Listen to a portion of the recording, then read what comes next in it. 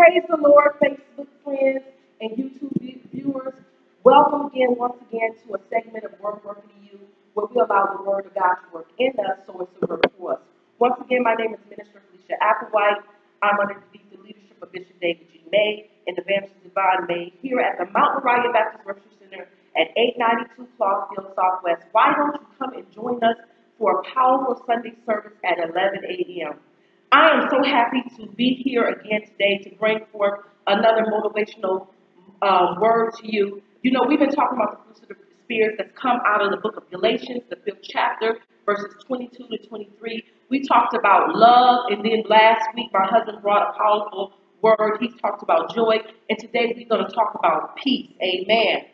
Amen. You know, the Bible tells us in First Peter, the second chapter, verse 9, it says, But ye are a chosen generation who is, who is the Lord talking about? Us chosen ones, us, the, us ones that are, are born again. It says, But ye are a chosen generation, a royal priesthood, an holy nation, a peculiar people, that you, you should show forth the praises of him who have called you out of darkness into this marvelous light. Amen. What make us so peculiar? What separate us from everybody else?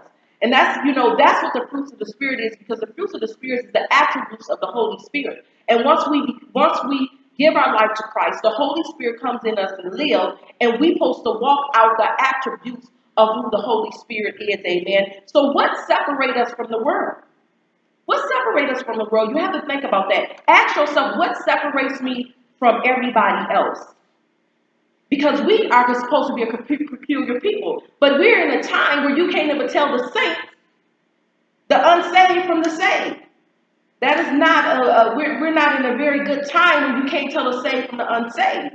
And a lot of times, I'm gonna tell you what's going on. A lot of times, even though we're saved, we get so caught up in our daily activities, trying to achieve so much in life that we forget really why we're here. The purpose that we're here on this earth is to be a light for Christ and to tell somebody else about our testimony, how we was saved by his mercy and grace. Amen. And so a lot of times we forget that and that we that the Holy Spirit lives in us and we must allow the Holy Spirit attributes to shine through us. Amen. And the Holy Spirit is a gentleman. It is not going to force you to uh, to to to walk in the attributes of the of the of the fruit of the Spirit. You have to yield yourself unto the Lord to do that. Amen. And so th- that's what I want to talk. That's getting to the fruits of the Spirit and talking about peace. How can I have peace? How can I have the spirit of peace? Most of us, when you hear the word peace, the first thing you think of, the first thing you think of when you hear the word peace is the absence of conflict or the absence of disturbance. That's the first thing you think of if I said peace. But what about the spirit of peace? The spirit of peace is having peace in the presence of conflict and in the presence of disturbance. How can I have that spirit of peace? Amen. If so much is going on in the world. It, you know, every time you turn on the news, there's something different that's happening. There's some kind of tragedy that's happening. And after allowing that in your uh, mental mind, after a while, you just feel everything is hopeless. But how can I have that spirit of peace? How can I operate in that spirit of peace? And so we're going to talk about the spirit of peace and how to operate in that um, spirit of peace um, today. It reminds me of the story when Jesus was in a boat with the disciples. You remember that story that comes out of Mark, the fourth chapter, verses 38 and 40. And he a storm had erupted while the disciples and Jesus was on the boat, and Jesus had, had fallen asleep.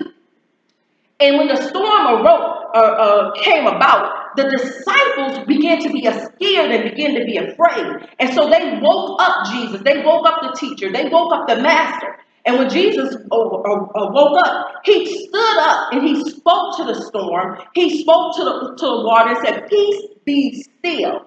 Mm. And I know they begin to marvel and wonder, who is this? That even the winds and the storms, that he could command to have peace. Amen. How many of us need God to say to some of the storms in our life, peace be still? A lot of times we just need to have the spirit of peace. Amen. And so we need to learn how to operate the spirit of peace. Because I'm going to tell you, you can have the spirit of peace through your confusion, through your hurt, through the madness, through all the tragic things that may come about in your life. You can have the spirit of peace.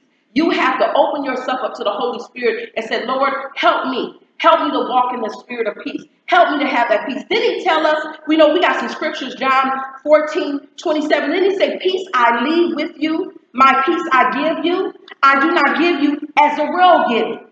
Because the world, the world answer to your peace is money. The world answer to your peace is more achievement, more goal setting.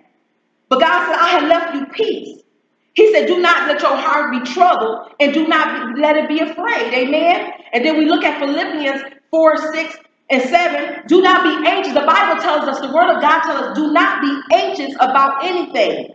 But in every situation, by prayer, petition with thanksgiving, present your request to God, and the peace of God, which transcends, transcends all understanding, will guard your heart and your mind in Christ Jesus. Amen.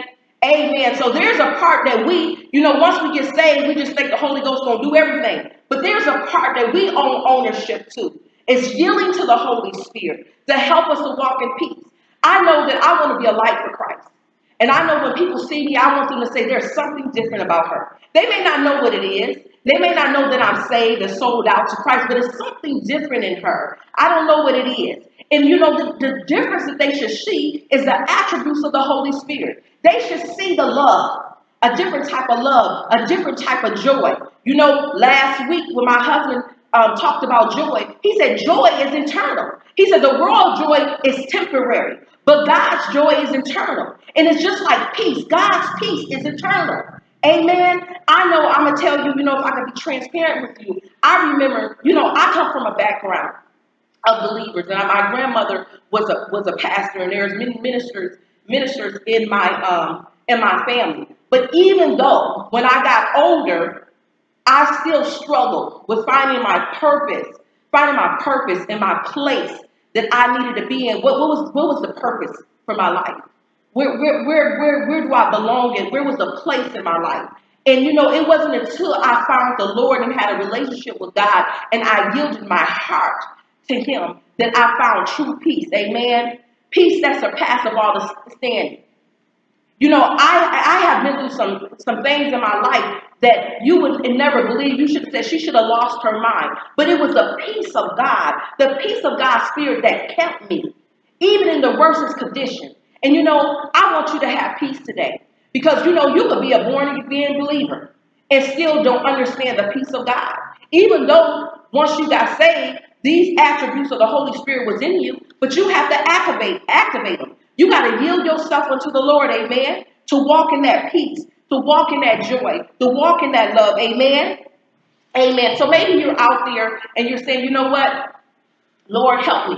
Help me to learn to walk in your peace, your spirit of peace. Help me to, you know, the ideal of these emotional moments in the, the, the, segment is called Word Working in You is that so us as born again believers allow the word to work in us for so it can work for us. And you know, these are small segments. But in these small segments, if you open up your heart, if you open up your mind, that you will learn how to allow God, yield yourself to the Holy Spirit so you can learn how to feel the peace of God, how to feel the joy of God, how to feel the love of God, and to walk in these things. Because when people see you, they should not just see a normal person. It should be something about you that separates you from everybody else in the world. Amen. And what separates us from the rest of the world is the way we love, and it's the way it's, and the joy that we have, and the spirit of peace that we have. Amen. Amen. And you know, um, so I just want to, once again, I just want to let you know that you're not by yourself. We don't got it all together. That's why we that's why we're here to remind us what we are supposed to do because I know that it's so easy to get caught up in daily tasks, doing your own thing. And um, even as a Christian person, sometimes we get caught up thinking we're doing church work or kingdom work, and really what we're doing is working out our own um, our own flesh. But we need to walk in peace. People need to know that you are a born again believer and that you're walking out the peace of the Lord. And you know, I just want to offer salvation to someone. Maybe you've been watching these word working in you emotional, emotional uh, moments, and maybe you said to yourself, I want to be saved. I want that peace. I, I want that love. I want that love that's eternal. I want that joy that's eternal. I want that peace that is eternal. Maybe you're going through something. Maybe you have a conflict and circumstances, and you know maybe right now it's just not going to move. but God can give you peace about that. Well, if you if you want to know the Lord, the Bible tells us. The Bible tells us in Romans 3:23 that we all have sinned and come short of the glory of God. I know I have sinned. I have came short of the glory of God. So all you have to do is admit. Admit that you are a sinner. I admit. All you have to say, Lord, I'm a sinner. And I need new direction. And I repent of my sin. So all you have to do is admit that you're a sinner, you need a new direction, and you repent of your sins. Then Romans 10 9 tell us that if you confess with your mouth that the Lord Jesus, that Lord, that the Lord is Jesus, and believe in your heart that God has raised him from the dead, you will be saved. Just say to Jesus, Jesus, I believe you died on the cross. And I believe that you rose the third day. And I believe that you are the Lord, that you are Lord. And John and John 1:12 said, But as many as received took them, gave him power to become the sons of God, even to them that believe on his name. And so all you now have to do is confess that Jesus is Lord. And you are saved. Confess that Jesus is Lord. You are saved. After that, you need to find a Bible believing church. Amen. Ask the Holy Spirit. The Holy Spirit lives in you now. And ask Him to help you find a Bible believing church that you can grow and walk in the love of Christ. Amen. I hope you have been blessed. At this time, I'm going to have my daughter and my son. They're going to come and they're going, he's going to bless you on the keyboard while she's saying amen. Do you know that God knows you? He knows your in and out. He knew you was going to be watching the segment. He knows what you're going through. And he want to give you peace that's that surpasses all understanding. Amen. And this song is called I Know You. He knows you. Amen. At this time, I give you my daughter, Tina Applegate.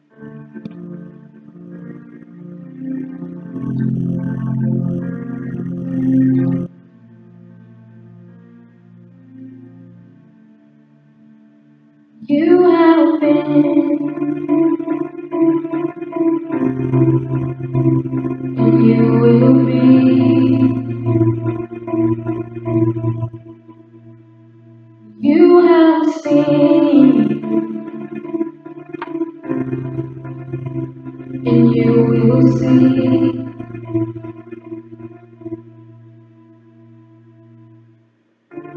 You know it.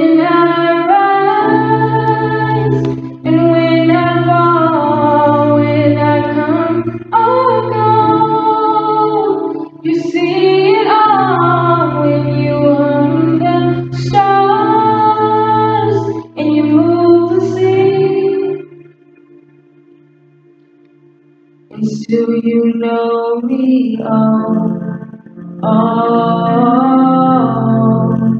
all, all. You know me all, all, all, all.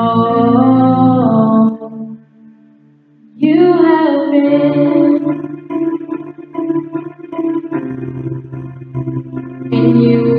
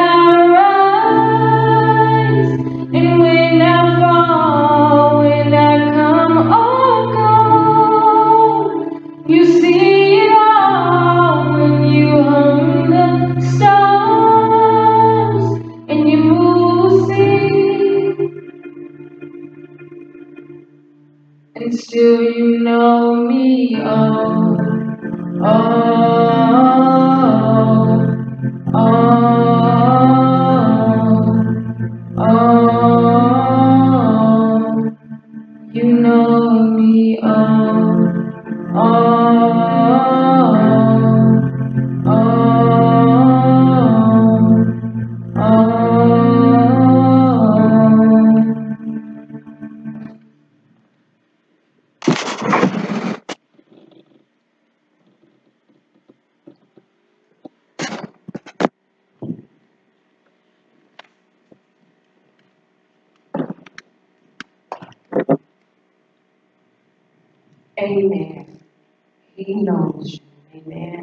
I'm so glad that I serve a God that knows me. Amen. He knows my in and my out, my rising and my sitting. Amen. You know, I bless, I just bless you today. Thank you for tuning in again to another segment of Word Working in You, where we believe when you allow the Word of God to work in you, it will work for you. Once again, I want you to know that I love you, and I see, I'll see you next Sunday. Be blessed.